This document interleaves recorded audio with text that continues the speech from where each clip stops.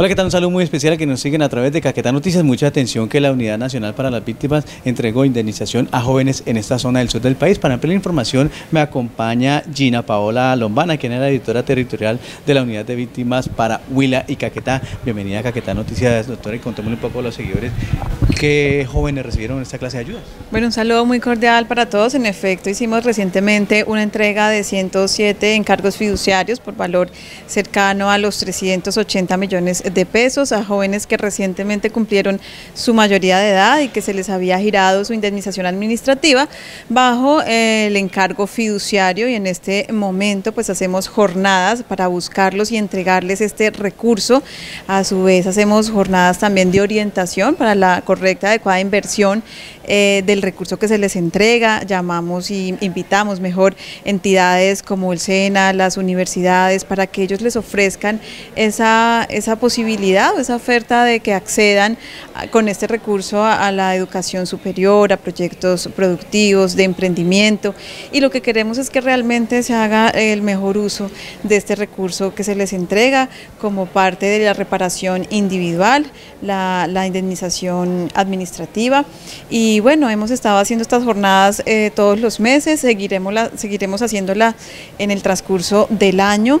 Y pues también haremos entrega de las cartas de indemnización en la ruta prioritaria y en la ruta general, que este año tendrá una ampliación del presupuesto porque pues estábamos avanzando en gran medida en la ruta prioritaria y siempre es el sentir de todas las víctimas que están a la espera de la ruta general y por supuesto que este año avanzaremos también eh, sobre un 30% del presupuesto que se tiene para el pago de la indemnización y seguiremos haciendo entrega a jóvenes de todo el departamento, aunque se entreguen en el municipio de Florencia, son jóvenes beneficiarios de los 16 municipios del departamento del Caquetá. ¿Qué han manifestado ellos precisamente al tener esta ayuda por parte del gobierno nacional? Bueno, realmente para ellos es muy satisfactorio que les llegue esta reparación después de haber sufrido estos hechos victimizantes, en especial el desplazamiento forzado, que es el, el hecho victimizante que más se presenta de forma recurrente en el registro único de víctimas y claro que, que es una satisfacción muy grande porque pese a todo el rigor de, de la violencia y el conflicto, recibir esta reparación de parte del Estado es algo significativo, sin embargo hay que recordar que no es es la única medida de, reparación, que se tienen también eh, las diferentes medidas de rehabilitación, la reparación simbólica, que son importantes para que, entre otras cosas, estos hechos no se repitan. Entonces, eh, seguiremos atendiendo eh, con las diferentes medidas, el retorno y la reubicación, la reparación colectiva, que es el trabajo que viene haciendo y adelantando en el departamento del Caquetá, la unidad para las víctimas. ¿Para cuándo se puede volver a recibir precisamente el apoyo esta indemnización por parte del gobierno a los habitantes de esta región como lo es Caquetá? Nosotros hacemos jornadas todos los meses, a veces hasta dos veces en el mes y, y, en efecto vamos a seguir realizándolo y estaremos contándole a toda la comunidad cada vez que lleguemos con estas entregas que son importantes para todos los sobrevivientes del conflicto.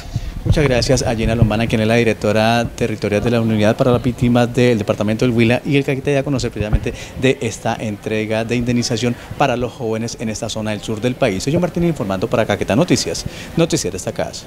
Cámara de Atención, señor comerciante y empresario. Recuerde renovar su matrícula mercantil, el Registro Nacional de Turismo y el Registro de Entidades sin ánimo de lucro antes del 31 de marzo de 2022. Evite sanciones por parte de la Superintendencia de Industria y Comercio. Los primeros 3.333 comerciantes que renueven la matrícula mercantil antes del 31 de marzo participan de la rifa de una motocicleta Yamaha YBR 125 0 kilómetros y 6 computadores portátiles. Cámara de Comercio, impulsamos el desarrollo regional.